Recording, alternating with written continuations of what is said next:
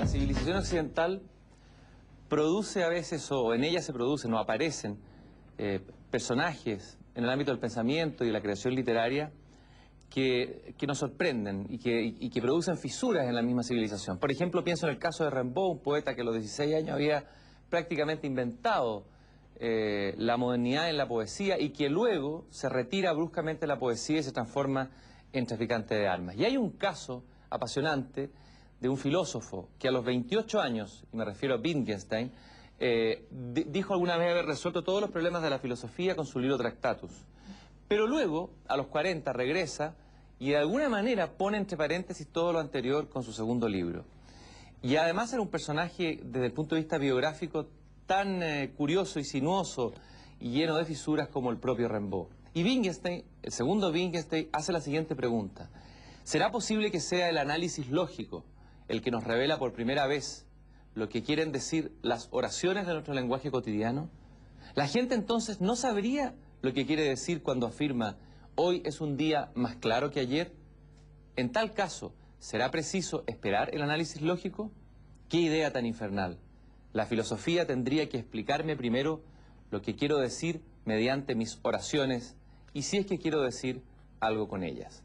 Y para hablar de este Wittgenstein, que habla de la idea tan infernal en relación a la filosofía, eh, de que el análisis sea el que nos revela por primera vez lo que quieren decir las oraciones, y para hablar de él y de muchas otras cosas más, estamos nuevamente en esta tercera conversación ya en, un, en un lapso de tres o cuatro años con Carla Córdoba, profesora de filosofía, eh, filósofa, así la llamo yo, le doy, le atribuyo ese título, eh, por su obra, lúcida, clara, transparente, se agradecen esos libros de filosofía y sobre todo este último libro, Ideas y Recurrencias, donde de alguna manera Carla Córdoba nos pasea eh, delicadamente a través de la literatura en Conrad, El Quijote, los problemas morales, pasamos por Sartre, luego a Wittgenstein, y hay algunos hilos conductores que van mostrando además las pasiones y obsesiones de la misma Carla Córdoba. Gracias Carla por estar aquí en La Belleza de Pensar. Gracias a ti, Cristian.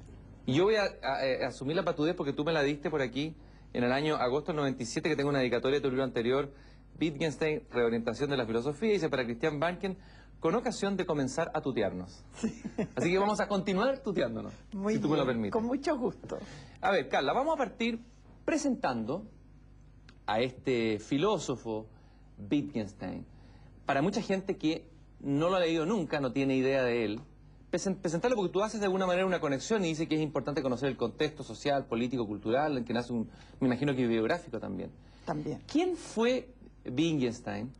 Eh, y, y- y qué, qué, digamos, ¿por qué contradicciones estaba atravesado este hombre que aparece de repente como alguien tan frío, entre comillas, que es capaz de hacer una filosofía casi minimalista, una moral mínima, pero que de repente tiene arrebatos de pasión, que es contradictorio, que afirma una cosa en la primera mitad de su vida y que luego en la segunda mitad la pone entre paréntesis? ¿Quién fue Wittgenstein y qué, significó su paso por la tierra, por decirlo, aunque sea un poquito rimbombante? Sí, no, es, eh, yo creo que ha significado mucho.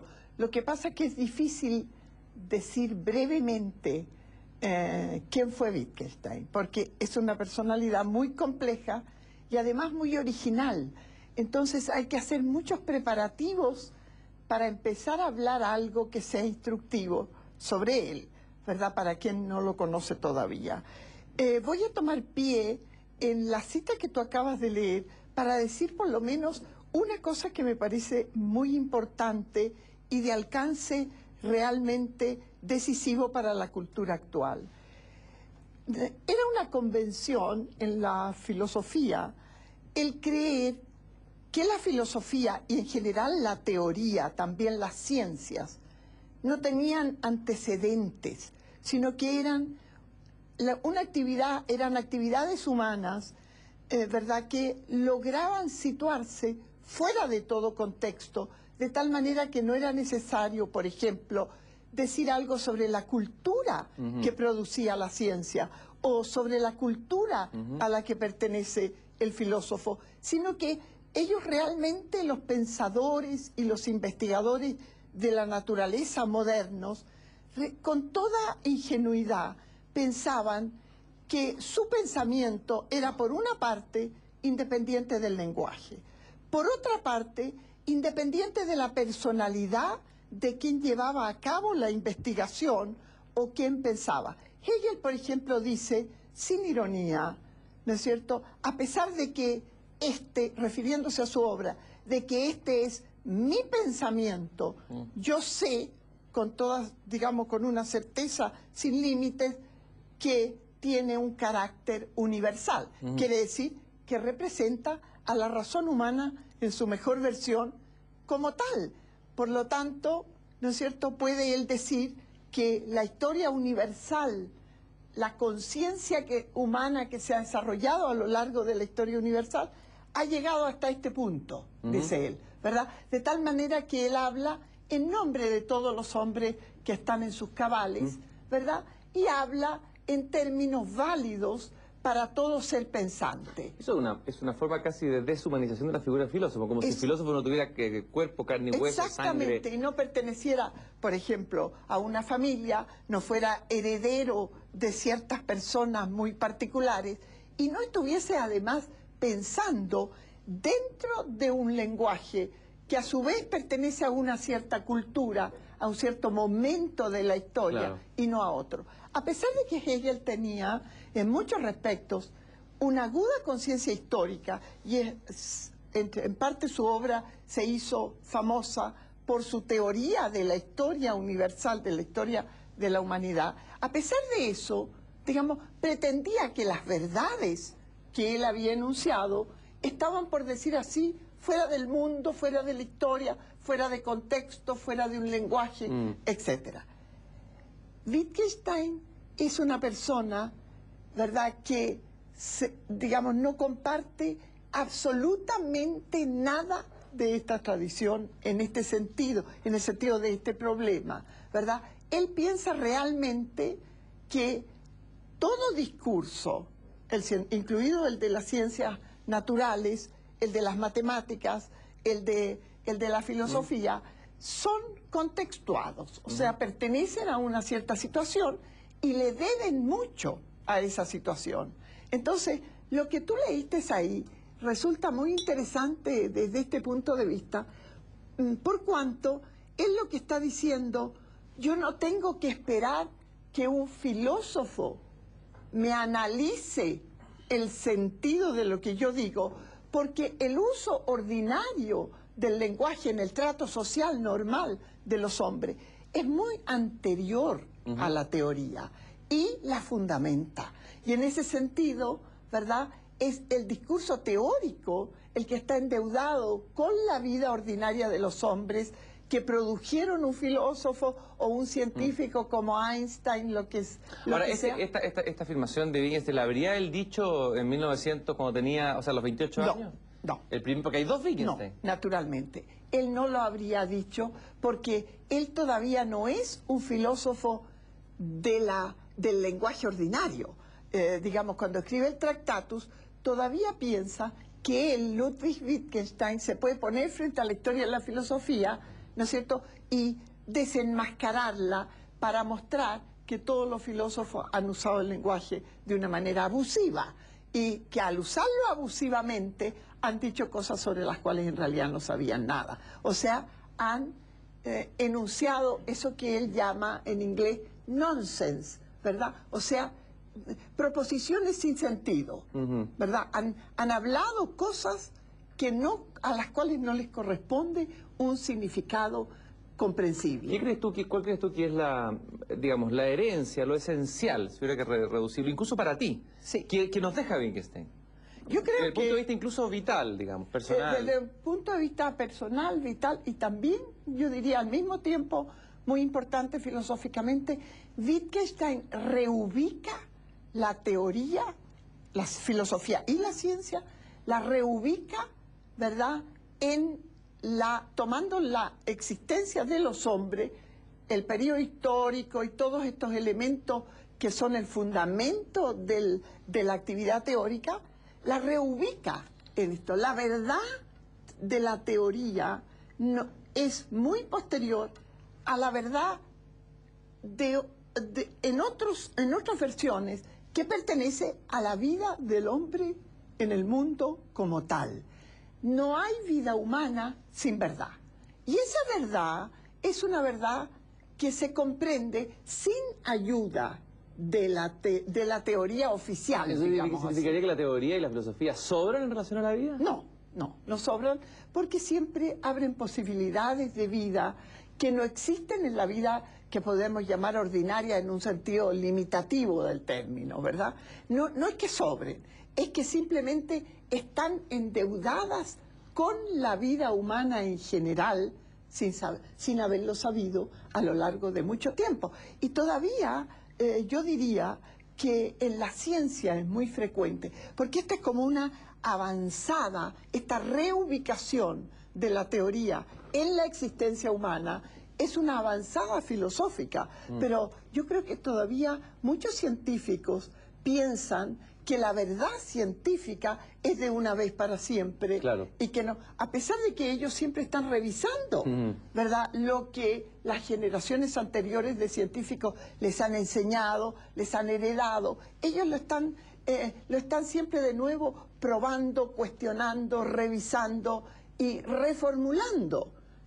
A pesar de eso, existe una creencia sólida aún en que las verdades científicas son adquisiciones de una vez para siempre, ¿no es mm. cierto? Y que no tienen deuda alguna con la vida humana, porque el científico recibe un acondicionamiento previo mm. para hacer ciencia. ¿Verdad? Cree que cuando se pone el delantal blanco del laboratorio, se despega completamente de su personalidad. Es completamente una falacia. Es casi una, actitud violenta, un violentamiento frente a la vida. Exacto. Es como que la teoría violenta la vida, ¿no? O sea que la teoría es completamente independiente de la vida. Y en ese sentido no se entiende que se pueda decir, por ejemplo, que la ciencia es una actividad humana, ¿verdad? Porque toda actividad humana tiene condiciones en la vida.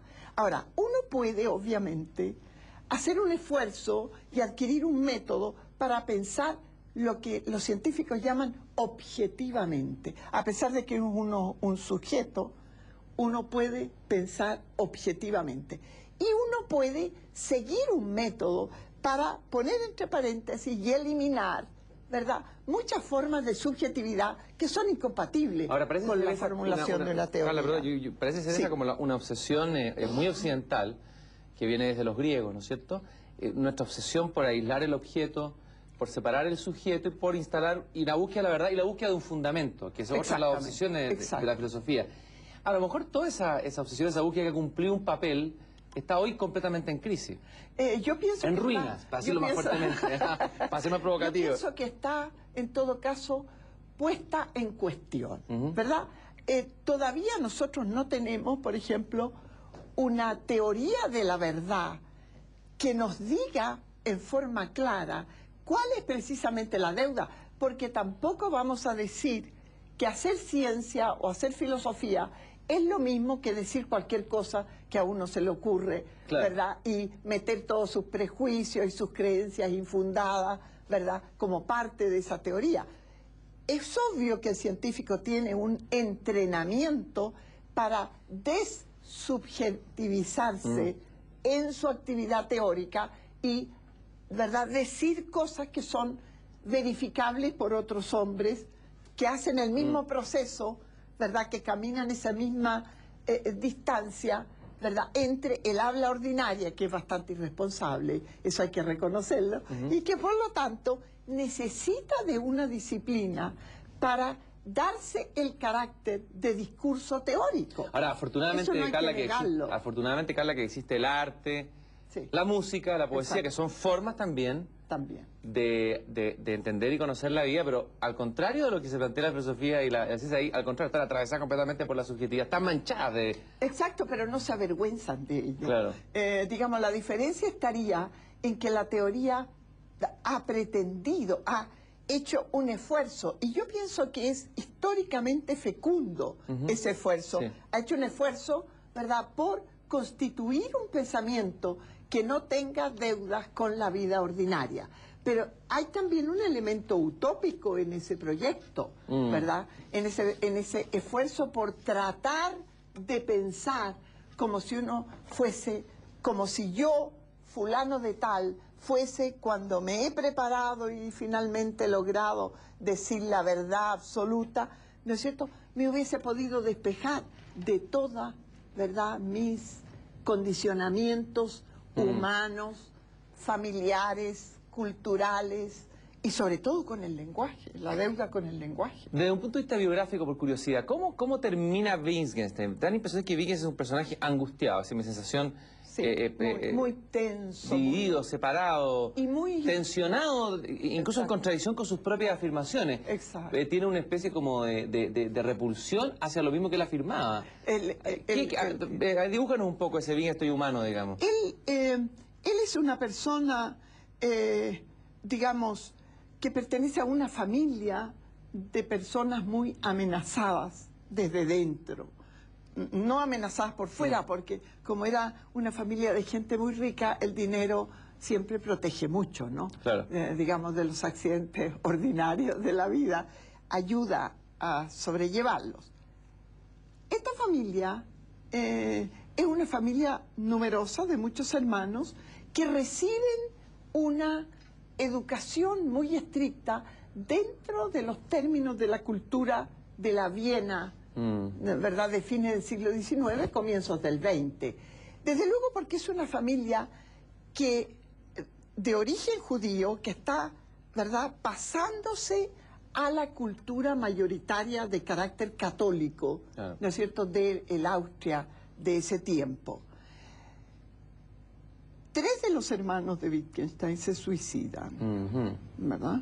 Y otro sufre un grave eh, eh, accidente en la guerra, pierde un brazo, es el célebre pianista, ¿no es cierto?, para quien varios músicos escriben piezas de piano para la mano izquierda. ¿No es cierto? Ese es un hermano de Wittgenstein.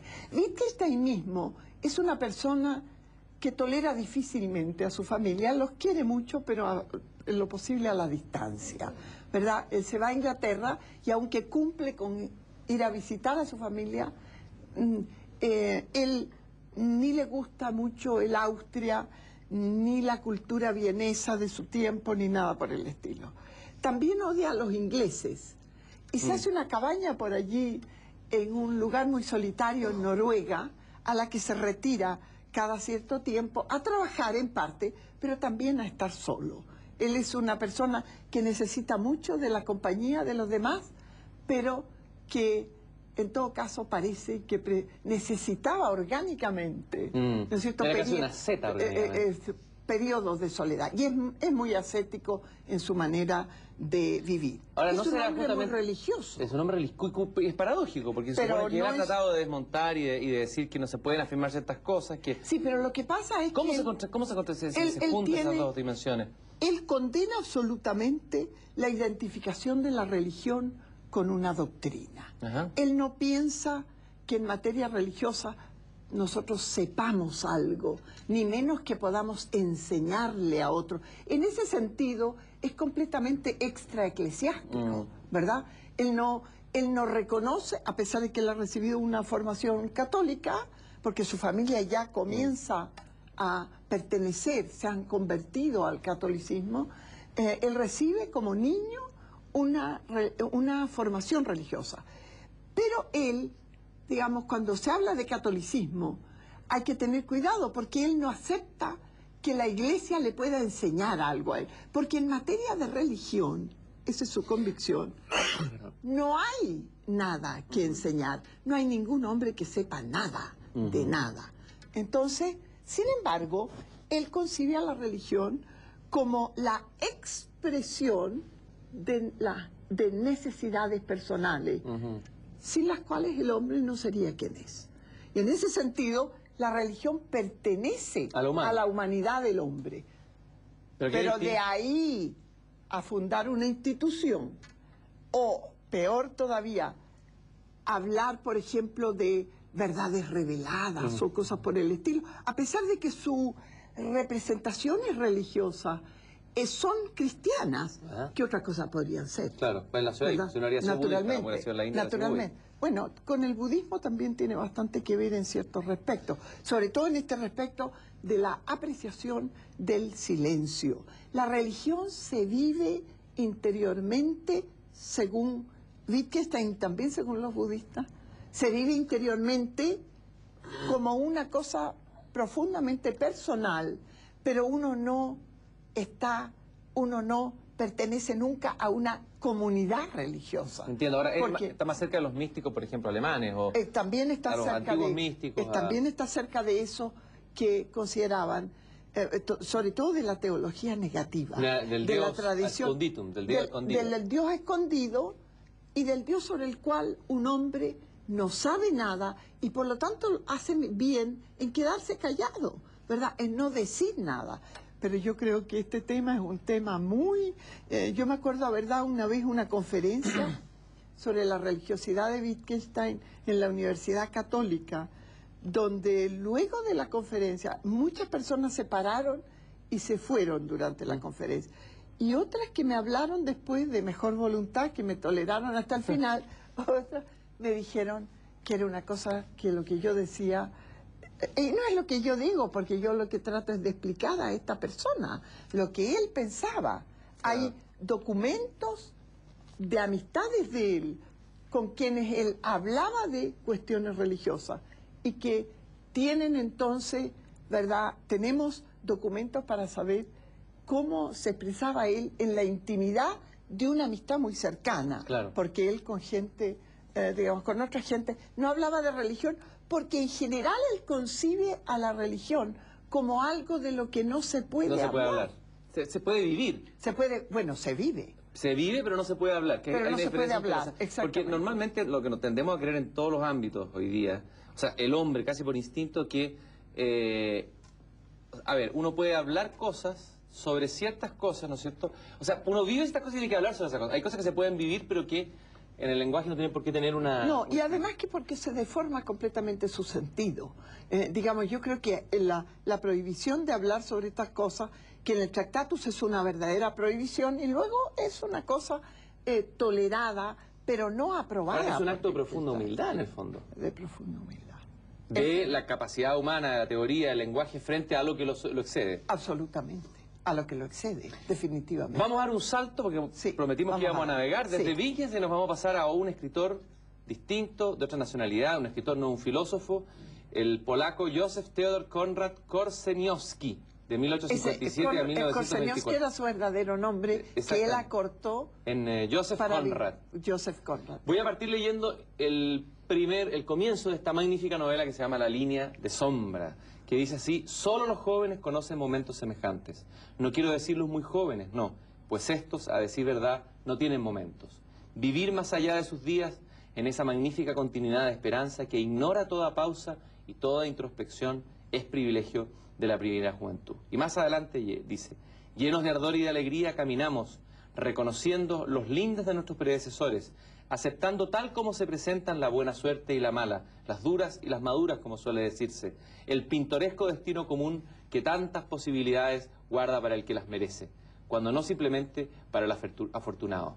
Eh, sí, caminamos, y el tiempo también camina hasta que de pronto vemos ante nosotros una línea de sombra advirtiéndonos que también habrá que dejar detrás de nosotros la región de nuestra primera juventud. ¿Por qué cogiste tú, qué te, qué te apasionó, qué te interesó, tú desde la filosofía, digamos, este escritor Joseph Conrad y esta novela magnífica, La línea de sombra? Eh, eh, vamos a decir a los, nuestros telespectadores que Joseph Conrad es autor de otra novela, quizá más popular, que es eh, El viaje al corazón Sí.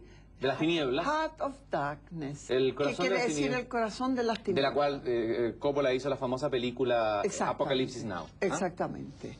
¿Qué es lo que te interesó y qué te, te- te- te atrajo Eh, eh, de Conrad? Yo estoy tratando de escribir un libro sobre el concepto de sentido y sin sentido, y su contrario, sin sentido. Y mm, he- en la literatura he encontrado más inspiración que en libros de filosofía, porque en libros de filosofía eh, no hay mucho sobre esta cuestión del sentido, ya sea porque se lo da por descontado o ya sea porque se lo entiende en sentido puramente semántico, quiere decir las palabras tienen significado y Mm. entonces sentido y significado son eso que tienen Mm. las palabras cuando forman parte de una frase o proposición. Pero nosotros también hablamos de sentido en otras acepciones, como el sentido de la historia o el sentido de la vida o cosas, o esta situación no tiene sentido para mí, me retiro, me voy a otra parte, etc. este es un concepto bastante elusivo. Entonces he encontrado que los, los literatos pensantes se han ocupado mucho de este asunto. Entonces los he estudiado. Por ejemplo, Fernando Pessoa, que continuamente en su obra afirma el sinsentido de todo. Incluso dice, decir que las cosas no tienen sentido no tiene ningún sentido. Claro. Por lo tanto, habría que quedarse callado, ¿verdad? Estudié eso y escribí algo eh, que se va a publicar ahora pronto eh, sobre la postura de Fernando Pessoa respecto de esta, de esta cosa oscilante, que a veces las cosas tienen sentido para nosotros, pero lo pueden perder, ¿no es cierto? Y entonces entramos en otro tipo de relación con ellas, etcétera. Y entre eso encontré también a Juan Luis Martínez Sí. como una persona que había reflexionado profundamente El poeta chileno. el poeta chileno Juan Luis Martínez, eh, cuya obra está recién terminando de aparecer porque hay muchas cosas inéditas de él que no se han publicado o cosas publicadas en lugares oscuros que no, no están, eh, no son abordables para nosotros en todo momento. Y entonces encontré que también Conrad era un, era un verdadero pensador sobre esta cuestión del sentido y la posibilidad de perder el sen- de que el mundo, las cosas, la vida pierdan el sentido para nosotros de pronto. Y Y, en la podríamos- línea de sombra, la novela que tú, de la cual tú leíste ese- esos pasajes tan importantes, ¿Mm? de la línea de sombra, la pérdida de sentido se plantea como el paso que un personaje joven, joven da, ¿no es cierto?, al pasar de una juventud ilusa al mundo que Conrad pensaba que era el mundo normal, que es el mundo de la maldad, la hipocresía, ¿verdad? Y la perversidad en general. En el fondo, ahí estamos, eh, eh, lo que está, aborda Mencora es la pérdida de la, de la inocencia, ¿no? Es el fin de la, ino- de la inocencia. Lo que habitualmente se llama la pérdida de la inocencia, Conrad lo interpreta de esta otra manera, de que cuando se pierde la in- lo que habitualmente se llama la inocencia y que él llama la pérdida del sentido de un mundo en el cual el joven se ha, ha estado, se ha estado desarrollando, ¿verdad? Y cuando ocurre esto, ocurre en realidad una catástrofe, una especie de naufragio, porque como Conrad usa mucho esta metafórica náutica, ¿verdad? Porque escribe tanto sobre el mar y eso es un tema también muy importante de él, ¿no es cierto? Eh, es como una especie de naufragio vital, ¿verdad? Por la que el personaje parte y que lo deja en estado de total desnudez, de modo que tiene que reconstruirse más allá de la línea de sombra, ¿verdad? Y si quiere seguir viviendo, lo que no es seguro, porque muchos de estos catástrofes vitales en Conrad llevan al suicidio, Mm. ¿verdad? Si quiere seguir viviendo, tiene que reconstruirse ¿Y qué más allá de la una vez de pasada la línea de sombra, este Sí. personaje que sí que es un joven al que se le da el, mando de un barco, Exacto. eh, bueno, por lo tanto, este viaje es un viaje interior y al mismo tiempo es un viaje exterior, en una situación de peste, de enfermedad y, Sí. de, y de muerte de toda la y, y de falta de viento. ¿Por qué? Es porque el barco no se puede mover, no se como se trata de navegación eh, en términos eh, tecnológicos muy sencillos, se trata de navegación a vela. ¿verdad? Entonces, el barco que se le confía se eh, estaciona en, en el Golfo de Siam, ¿verdad? Y no se mueve. Mm. Eh, pero tampoco está en la costa, sino que está en el Golfo sin poder llegar a tierra a buscar auxilio para la peste que cunde y que está matando Bueno, a los marineros. Es literal, pero es casi una metáfora de lo que nos ocurre quizás a todos nosotros en la vida.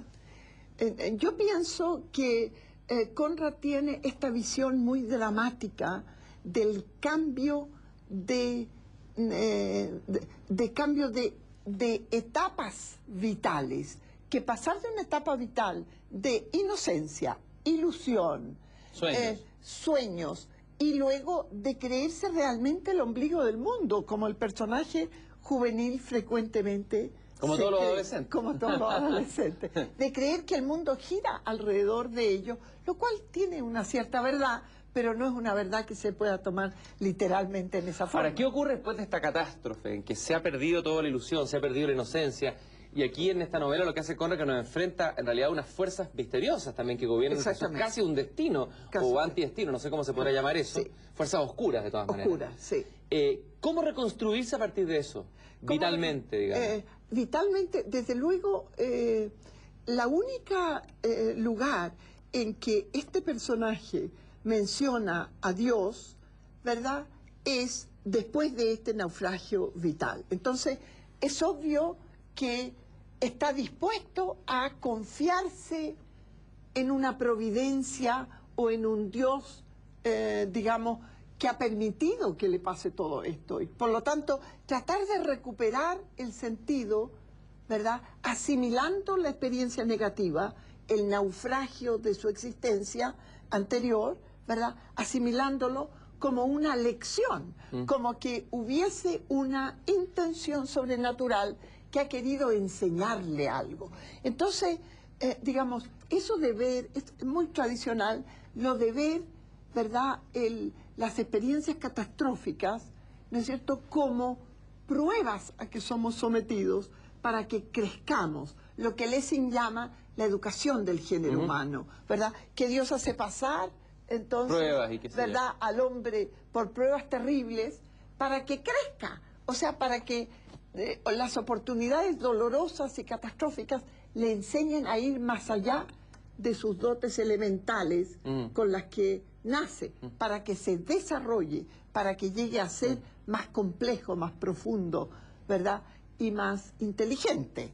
Entonces, el personaje, el, el único signo que se da al final de la novela es que el personaje comienza a ver todo este hundimiento de su vida juvenil y de sus ilusiones y sueños juveniles como una lección, ¿verdad? Que ya es una interpretación optimista, Claro. porque si se mantuviese en la catástrofe de todos los sentidos, tendría que decir, el mal no tiene ningún sentido. A mí me ha pasado, he sufrido todo esto, he perdido todo lo que tenía y no he ganado nada.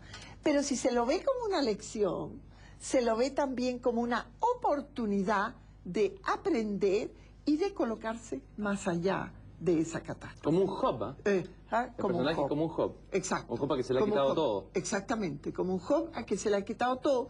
Pero Job parte de la fe religiosa. En cambio, este no. Claro. Este es uno, eh, ¿verdad?, que como un verdadero loco se mete en cosas de adultos sin saber nada de nada, ¿verdad? Y cree que esto, que esta es la oportunidad de su vida y que va a salir triunfante de todo. Ya se ha imaginado la maravillosa navegación que va a hacer por los Mm. mares más peligrosos y cómo va a, eh, sobre todo cómo va a ejercer el poder político sobre esa pequeña muestra de humanidad de los marineros que van en su buque y que pasan a depender de él, que es un niño en realidad. Te voy a hacer una pregunta más personal. Sí.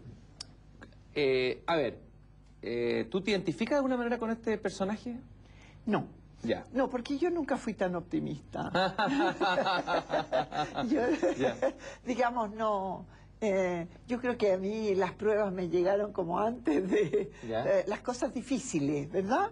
Eh, que me costó superar, me llegaron ya cuando yo era muy pequeña. Entonces no, no desarrollé no- nunca esta confianza alocada en que yo podía eh, hacer cualquier cosa que me ¿Y propusiera. tú estudiaste filosofía por qué? Desde el punto de vista vital, bien profundo, Sí. no me digas por qué esto, porque No, recibí un libro y todo, no, bien, profundamente. No sé, Farideh Serán eh, que me hizo una vez esta pregunta, yo le dije, bueno, porque yo siempre desde muy temprano comprendí que la dependencia de las mujeres tenía que ver con eh, su dependencia económica, con que no sabían hacer nada, ni ganarse la vida, ni nada. O sea que yo muy temprano comprendí que tenía que tener una profesión. Entonces Faride, que es tan inteligente, me dijo, pero elegiste la filosofía, como diciendo, eh, qué, qué cosa tan incongruente, ¿verdad? Porque la filosofía nunca ha mantenido a nadie. De hecho, tenía, ella tiene toda la razón. O sea que esa, esa respuesta no debe ser buena. Eh, debe, debe ser una respuesta... Tratemos de responderla ahora. De filosofía, ¿por qué la filosofía? ¿Qué, qué te da la filosofía? ¿Te da un sentido?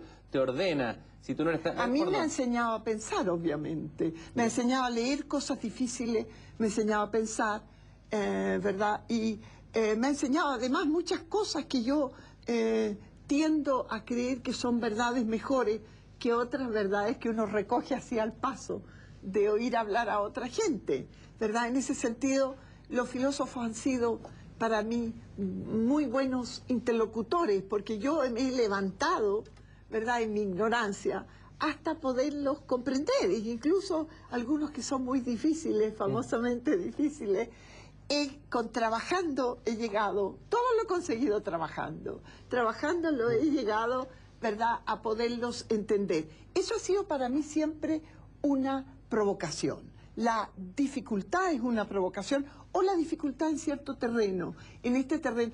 Porque yo, yo debo confesar que desde muy pequeña me gustaban mucho las palabras. Para, eh, digamos, yo me ensayaba en hablar palabras que no entendía. ¿Verdad? O sea, ¿Te gustaban los palíndromas, cosas así? eh, eh, me- no, no, no, las palabras, las palabras corrientes. Ya. Me parecen maravillosas. Hasta hoy cuando, cuando encuentro leyendo en castellano una palabra que no entiendo, corro al diccionario para eh, ver y para, mm, digamos, me gustan todas las palabras casi, eh, ¿verdad? Algunas más que otras, pero todas las palabras. Y entonces yo creo que el hábito, por ejemplo, de leer el periódico todos los días, lo, allí yo aprendí casi sola a leer para poder leer el periódico. O sea que tengo una eh, como innata eh, vocación, eh, yo no diré literaria, pero por, por las letras, por, por las palabras, por lo escrito, por lo, eh, mm, eh, digamos, no lo sé decir de una manera. En esta inclinación, claro, no es una inclinación específica hacia la filosofía, pero sí hacia lo difícil de entender. Pero la filosofía no tiene que ver también de repente con las palabras, el hecho de que la filosofía busque aclarar un concepto, una idea, Exacto. tiene que ir a hacer una genealogía o una ir al origen de algo. Tiene mucho que ver Heidegger con hace el mucho lenguaje. eso con las palabras. Mm. Absolutamente. Heidegger se confía eh, demasiado, a mi juicio, en las etimologías, que son a veces el producto de azares históricos que no tienen mucho que ver con el sentido profundo. Pero como Heidegger no cree que la historia sea azarosa, sino que piensa que la historia, la historia del ser, digamos, tiene una dirección que aunque no la podamos formular, de todas maneras es una dirección que tiene un orden interno, ¿verdad? Que tiene un sentido, que tiene un- una meta, yo no sé bien cómo decirlo, aunque él evita ese vocabulario. ¿Y tú compartes esa afirmación? ¿Crees que hay un sentido de ser? ¿O dónde hay un sentido, por decirlo de alguna manera? Bueno, ya que un sentido de ser sí yo creo que hay, ¿verdad? ¿y cuál es De ese? que algo... Estoy con preguntas directas. Es decir, estás temible. no sé cómo me las puedo arreglar. Fluyendo como lo hace siempre, pues. Pero Navegando como el personaje de Conrad. Pero Heidegger mismo no dice cuál es el sentido de ser. Dice que dice una cosa interesante y cuestionable, que ser, la palabra ser y la palabra sentido son sinónimos, Lo, lo cual yo personalmente no creo, porque yo creo que existe el sin sentido. Y si existe ese sentido, hay quiere decir que hay seres que carecen de sentido, que existen pero que no tienen sentido. Aun cuando para Heidegger ser y existir no es lo mismo, ¿verdad? Pero ahí no nos vamos a meter en estos enredos de vocabulario. Yo no sé contestar a tu pregunta cuál es el sentido de ser, pero sí puedo confesar que me asombra eh, digamos, que haya ciertas cosas. Por ejemplo, una cosa que me asombra ahora último tremendamente es la belleza de los animales que antes yo no veía. Veía la belleza de las flores, que es más, parece más accesible y además una afición femenina muy profunda. Eh, pero no veía la belleza de los animales. Pero ahora eh, eh, que hay en la televisión este canal... Discovery Channel. Exacto. Y el otro que viene ahora, en National Geographic, en el cual hay muchas películas sobre vida natural. Yo encuentro que eso es la cosa más interesante que, que puede uno contemplar. Es interesante porque nosotros los seres humanos, de alguna manera, estamos siempre buscando sentido, estamos buscando la belleza mirándonos el ombligo. Y le hemos dado la espalda a nuestros predecesores y a nuestros compañeros de este planeta, que son los animales, y un mundo, el mundo animal, digamos. El mundo animal. Interesante. Es, pensar en el mundo animal, ¿eh? ¿Alguien podría hacer eso? Y además yo me, me convertí por obra de, como siempre me convierto por argumentos. Eh, existe un filósofo norteamericano que se llama Peter Singer y que ha entonces eh, hecho, denunciado la inmoralidad eh, que la civilización tiene respecto no de la naturaleza en general ya, sino respecto específicamente de los animales. ¿verdad? Y que habla entonces de los derechos de los animales. Mm. Yo la primera vez que vi esa frase, los derechos de los animales, me pareció aberrante, mm. porque yo asocio la posesión de derechos con la racionalidad. Yo digo, solo los seres racionales tienen mm. derecho. Pero pensándolo bien, y como este es un argumentador, este Singer es un argumentador, pero verdaderamente avasallador. O sea, que uno lee sus libros y queda convertido en esta visión según la cual la civilización moderna es profundamente inmoral en su relación con los animales, ¿verdad? Y, y que desde ese punto de vista, si uno admite eso, que existe la posibilidad de relacionarse moral o inmoralmente con los animales, uno ya tácitamente está aceptando que los animales tienen derechos. Ah, entonces, eso cuestiona toda la historia del pensamiento jurídico tradicional, según el cual los derechos son, ¿verdad? Eh, portadores de derechos son solo los seres pensantes mm. y los demás no tienen derechos algunos, como lo dice Hegel eh, sin arrugarse, la naturaleza nos ha sido dada para que hagamos con ella lo que queremos, o sea, servir nuestros mm. intereses. Pero como nos ha salido tan mal ese negocio, que tenemos mm. el mundo eh, ¿verdad?, dañado por, nuestros intereses, entonces ahora estamos abiertos a escuchar a un hombre como Peter Singer, ¿verdad?, que nos hace ver, ¿verdad?, que hay, compartimos el mundo con otros seres vivos que tienen también derechos y que esos derechos no se fundan sobre el pensamiento ni la razón. ¿Por qué fundar todo sobre la razón, además? Bueno, porque... tiene que ser eso? Bueno, pero esa es la tradición, ¿sabes? ¿Pero por qué? En filosofía, esa es la tradición. Pero nos ha hecho tan mal eso también. Nos ha hecho mal. Por, eso, por eso es que ahora está en cuestión. Porque por fin vemos la otra perspectiva de todo lo que estamos esclavizando y pisoteando, ¿verdad? Mm. Por reclamar que el mundo nos ha sido dado para que hagamos con él. Oye, lo, lo que dice, esto está en el Antiguo Testamento, ¿verdad? En que el mundo es un algo dado al hombre, crecer y multiplicados, ¿verdad? Y ahí está el mundo como escenario de todo esto. Pero ahora no, ahora que lo hemos echado todo a perder, vemos con claridad que tenemos que repensar eso, ¿verdad? Y ver entonces que otros seres vivos, por las razones que sea, tienen también, ¿no es cierto?, derechos que, y que debemos ampliar nuestra concepción. Quiero volver un poquito atrás porque ahí nos metemos en temas morales también. En temas morales, a la pasadita hablaste por ahí de la moral vista por Wittgenstein. ¿eh? Y hablas de una moral del contentamiento, creo que por ahí va el asunto. Por ahí ¿Qué significa fundar una moral sobre el contentamiento? O sea, contentarse. Estoy contento con lo que tengo. Es una moral de la pasividad. Es una, moral mínima. Una eh, moral... Eh, tiene algo de... Apática. ¿no? apática no es ni, ni pasiva tampoco.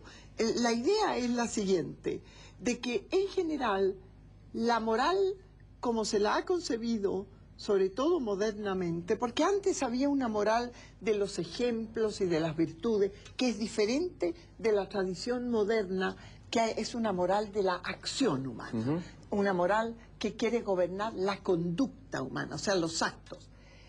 Y se ha creado en esta tradición la apariencia falsa de que lo que, ¿verdad? De que nosotros hacemos todo, ¿verdad? De que nosotros, de alguna manera, somos responsables de nuestros actos, pero por ser responsables de nuestros actos, somos responsables de quienes somos, como dice Sartre, de todo. Entonces, en Wittgenstein, sin que él desarrolle nunca estas ideas, eso, eso que hay en el libro es inventado por mí, ¿no? Pero claro, estimulada por esta, por esta intuición de Wittgenstein, de que la mayor parte de las cosas importantes en nuestra vida nos suceden sin que nosotros las hayamos hecho.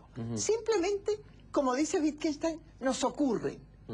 ¿Verdad? Por ejemplo, nos ocurre un accidente que nos deja eh, paralizados o lo que quiera que sea.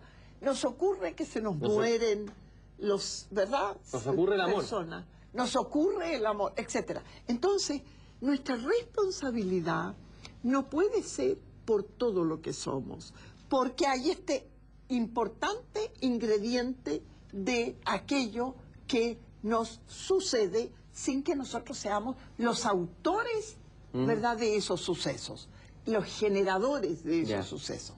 Entonces, a esa moral que se deriva desarrollando, como yo he hecho un intento de desarrollar eso, lo llamo moral de la aceptación, ¿verdad? Que nosotros, ya sea las consecuencias imprevistas de nuestros actos, ya sean los acontecimientos de que no podemos responder porque no vienen de, no son parte de nuestra iniciativa que hayamos tomado, nosotros tenemos que tomar una posición frente a lo que nos sucede. Y esa, en esa posición está envuelta nuestra libertad. Nosotros si nos quedamos ciegos, podemos aceptarlo, tratar de adaptarnos y aceptarlo, ¿verdad? De como una cosa que no podemos evitar, que nunca hemos podido evitar y que también se puede vivir como ciego. O podemos rebelarnos frente a eso y vivir con un odio permanente hacia esta limitación. Esa decisión que tenemos mm. que hacer, esa toma de una postura, es muy importante desde un mm. punto de vista moral. Y en general, en un tratado moral jamás se la considera. Jamás se considera que nosotros tenemos que hacer una negociación mm. con lo que nos sucede, en la cual está envuelta nuestras preferencias, nuestro carácter, ¿verdad? Ahí sí que tenemos que tomar una iniciativa. Yo tengo que aceptar lo que me pasa sin intervención mía. Tengo que arreglármelas con eso de alguna manera. Pero espérate, lo que plantea Viñas es como un imperativo. ¿Hay que aceptar, hay que contentarse con lo que nos viene? No, con algunas cosas que nos vienen. Nosotros vamos a elegir, ¿verdad? Nosotros vamos a decidir qué aceptamos y qué cosas combatimos. Por ejemplo, uno puede tener pésima memoria y puede hacer un esfuerzo por desarrollar una mejor memoria. Hay tecnología, hay esfuerzos que se mm. pueden hacer. Hay, por ejemplo, eh, pedagogía que hacen aprenderse de mm. memoria, poesías como antes se hacía, ¿verdad? Aprender de memoria para darle un contenido a la memoria y desarrollarla. Pero nosotros frente a lo que nos sucede tenemos que adoptar una posición algunas de estas cosas que nos suceden y que no proceden de nosotros, las podemos aceptar de buen grado. Eso es lo que dice Víctor. ¿Eso es la felicidad? Parece que esa es la posibilidad de ser feliz, la capacidad de... Pero ya sería un modo de hacerse uno feliz, reduciendo sus exigencias, ¿verdad?, a lo que le es dado. ¿Qué es para ti la felicidad? Filosóficamente y No, eh, eh, yo no, yo no creo que la felicidad eh, sea que se pueda tener un concepto concreto de felicidad. Es una palabra formal que designa, por ejemplo, alguna gente considera la felicidad como tener mucho dinero, otros como ser muy pobres ¿Pero por qué esa palabra, soportarlo con paciencia, la pobreza. Pero sin embargo esa palabra se usa y tiene un valor. Por algo, ¿no? Lo que hablamos al comienzo, por algo el lenguaje la colocaba ahí. Es muy subjetiva la palabra porque cada uno de nosotros concibe la felicidad de otra manera. Entonces, digamos, ¿cuál es el contenido de la ¿Y felicidad? por qué nos entendemos todo cuando decimos la palabra felicidad? Eso es lo Porque eso sabemos que designa formalmente, una palabra formal, que designa lo que el otro quisiera tener, ¿verdad? En general, aun cuando yo puedo decir, todos aspiramos a la felicidad y tenemos derecho, como dice Kant, tenemos derecho a querer ser felices y hacer lo posible por conseguirlo, ¿verdad? Pero eso no quiere decir que todas las toda- que estemos todos persiguiendo los mismos fines. Porque, eh, eh, digamos, porque concebimos la felicidad de diversas maneras. Hay un personaje famoso que has- nos ha sacudido desde siempre, ha sacudido nuestra imaginación, eh, que de alguna manera tiene que ver con esto del sentido, del sentido, con la Sí. felicidad, con la ilusión. Sí. En un lugar de la Mancha, cuyo nombre no quiero acordarme, no mucho tiempo que vivió un hidalgo de los de Lancen, astillero, adarma, antigua, flaco y galgo corredor.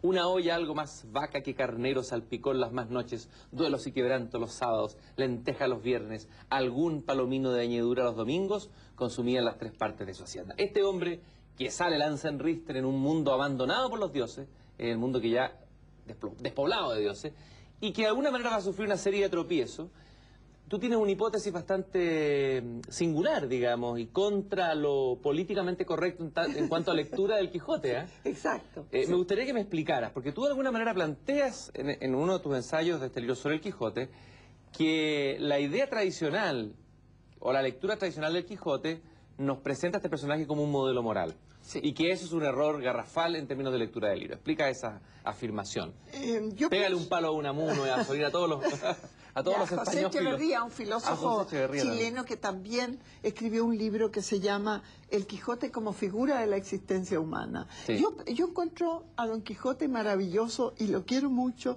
La novela de Cervantes me encanta, la he leído muchas veces. Te hace reír a gritos, ¿no? A gritos. Ah, O sea, sí. muchísimo, Sí. muy cómica la hallo.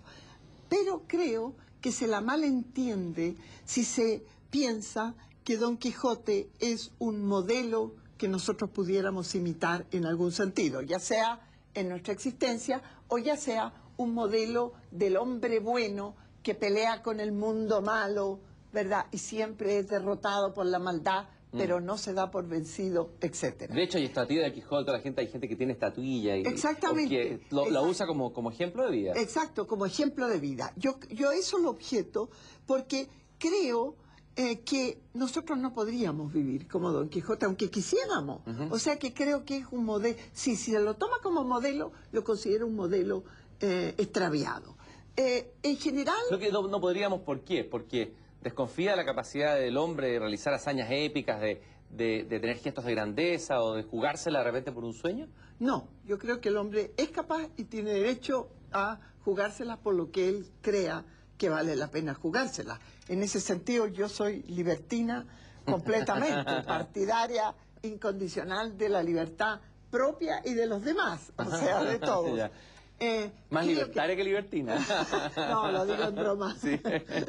Eh, libertaria es la palabra. Eh, eh, eh, la- yo lo que combato es una interpretación de Don Quijote. Yo creo que Cervantes ridiculiza el tipo de idealismo, eh, digamos, que no se fija en las circunstancias, que no calcula las consecuencias de los actos y todo eso. Yo creo que Cervantes ridiculiza eso en Don Quijote. Pero como Don Quijote al mismo tiempo que ridículo es un ser tan maravilloso, ¿verdad? Sí. Entonces resulta que se produce como una especie de contagio poético del lector con este personaje. La gente se ríe de Don Quijote, pero luego se olvida de esa parte y se queda nada más que con el Quijote, ¿verdad?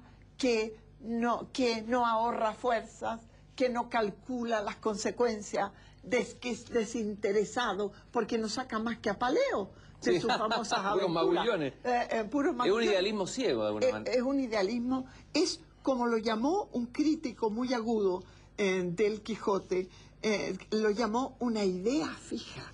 O sea, lo trató como una forma de locura, realmente. ¿No es cierto? Entonces, el lector eh, habitualmente se deja arrastrar por el entusiasmo poético que hay en el libro y que es de altísima calidad y entonces cree que el hombre común y corriente podría en su vida intentar por lo menos imitar hasta cierto punto a Don Quijote. Ahora, eso es una tendencia Yo no que ocurre, creo, que ocurre- yo lo niego. De alguna manera la gente busca también, alguna gente o un tipo de lector busca la literatura, de alguna manera, aquello que no está en la realidad, Exacto. y a veces aplicarlo. Ahí se producen unas, unas ecualizaciones y unos Sí. traspasos que son complicados, Sí. entre poesía, realidad, literatura, realidad, etcétera, etcétera, etcétera. ¿Cuál es tu Eh, planteamiento? mi planteamiento eh, es que si nos vamos a referir al Quijote, yo consideraría fatal que el Quijote fuese un modelo moral para mucha gente. Porque Don Quijote, eh, digamos, se permite ignorar, por ejemplo, las circunstancias en que actúa.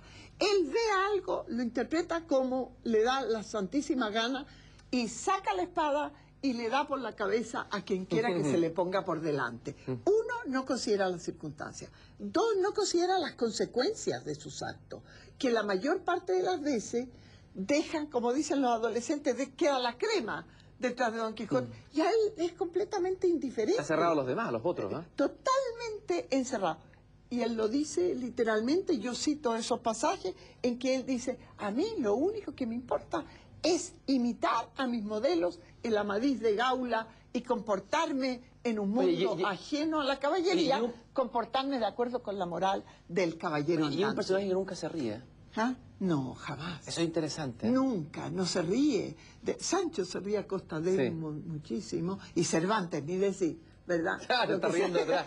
Exactamente. Sin embargo, estando de acuerdo con tu interpretación la encuentro que limpia un poco esta como Sí, simplificación además de la confusión, y confusión y, como, sí. como se enseña en Quijote en los Sí, colegios y todo. sí. Sin embargo, fíjate que el final, cuando Sancho se acerca al lecho moribundo y el Quijote, o sea, don Alonso Quijana abjura y dice, yo no voy a ser Don Quijote, soy Alonso Quijana, se acabó. Exacto. Y en un momento de lucidez, Sancho llorando le dice, ay, no se muera vuestra merced, señor mío, si no tome mi consejo y viva muchos años.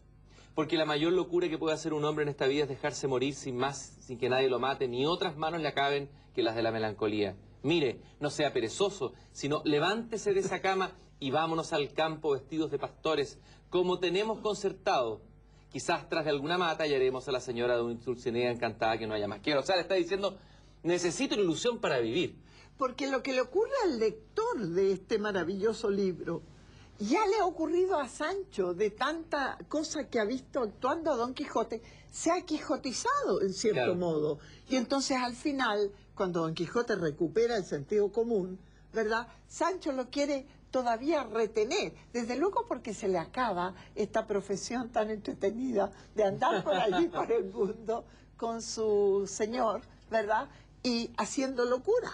Pero no, pero eh, la, la gran pregunta en el fondo es que a Sí. lo mejor, a pesar de que lo queramos o no, pareciera así como no podemos no vivir religiosamente, fíjense que somos instintivos, pareciera que no podemos vivir casi orgánicamente sin ilusión los seres humanos y sin, sin sueños a veces quizás un poco locos, y incluso somos capaces de perdonar a estos locos esta- e- estas como caídas, errores, ridiculeces, porque pareciera que necesitáramos orgánicamente el sueño, la ilusión, la utopía. Yo creo que sí, Ah, que lo- y- y Bill lo te neces- dice algo así, ¿no? Cuando él, cuando él examina el panorama de su propio tiempo, el mundo de la ciencia, el mundo moderno, lo encuentra eh, devastadoramente Espantoso, desierto, ¿no? espantoso, ¿Se puede vivir sin...? O sea, no, yo creo que no se puede, pero no se debe convertir esto en una moral, Mm. eh, ¿verdad? Porque si to, digamos, está bien que cada persona haga alguna locura de vez en cuando, pero si todos simultáneamente actuásemos como locos, ¿verdad? El mundo y la sociedad se volverían imposibles. Hay un artículo interesante que leí de Vargas Llosa el domingo pasado sobre Argentina, ¿Ah, sí? que dice que Argentina en el fondo eh, produjo a Borges, un gran creador de literatura fantástica, y que es el ejemplo más máximo de la literatura evadida de la realidad, y que los argentinos de alguna manera han vivido una ilusión en una irrealidad permanente, y que hoy se encuentran con la es realidad. Interesante esa, Que hay esa- un- es interesante esa, ese paralelo, pero yo conozco muchos argentinos que son muy sensatos, o sea, que no, me, comprometo con la tesis. Me parece interesante que se diga, y es, es un hallazgo literario, vamos a decirlo así, ¿verdad? Pero no se puede tomar al pie de la letra porque la verdad es que la irresponsabilidad política, digamos, de los gobernantes y de la gente que se ha eh, farreado todo ese dinero en la Argentina, es un país riquísimo. Mm. Como se decía antes como chiste, Perón es un genio, pero ¿por qué? Entonces la, la respuesta era porque consiguió arruinar a la Argentina. porque realmente no es fácil, Ajá. ¿verdad? Un país como la Argentina no es fácil arruinarlo.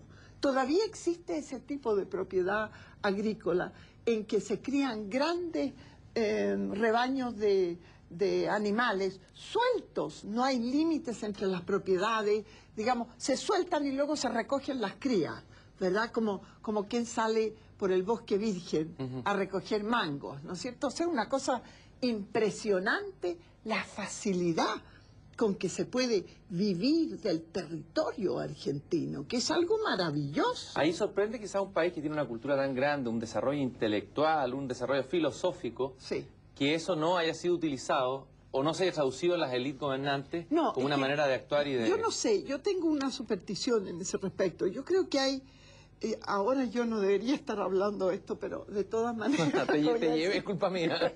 Eh, yo creo que hay países que por alguna extraña vocación, que tienen todo lo que hace falta para ser extraordinarios y que tienen una especie de torpeza de carácter político. De- digamos, se me ocurre una, una comparación macabra entre eh, la triste historia política de Alemania y la, la, la historia política de la Argentina es para llorar a gritos. Claro. Entonces, ¿por qué, ¿por qué le falta a un país que lo tiene todo y que tiene una clase tan educada, que tiene una educación mucho mejor que la nuestra y que tiene tanta gente inteligente y que hacen tantas cosas de primer orden? ¿Por qué en política no le ven el ojo a la papa, como dice la gente, ¿verdad? Eh, se dice popularmente, no ven el ojo a la papa, ya es el colmo de la ignorancia. Bueno, eso, eso es una pregunta interesante a responder. Hay que pensar la Argentina. Yo te voy a agradecer, eh, Carla, por esta conversación, este, este viaje que hemos hecho a partir de tu libro estimulante, viste hasta nos llevaste. Ideas y ocurrencias. Eh, vamos a invitar a nuestros telespectadores a conseguir este magnífico libro. Seguimos esperando tus próximos libros porque siempre es maravilloso conversar contigo. Y te aprovecho de entregar el último ejemplar de Noreste que tiene que ir con Argentina y cuyo título dice Bill Gates se compró Argentina. Ah, pero qué cosa más espectacular. Ahí está. Se compró Argentina, pero me parece que este periódico contiene noticias mucho más interesantes que otros. Muchas gracias, Gracias, y mucho gusto, Cristian. Gracias, Carla, por haber Gracias estado conmigo acá.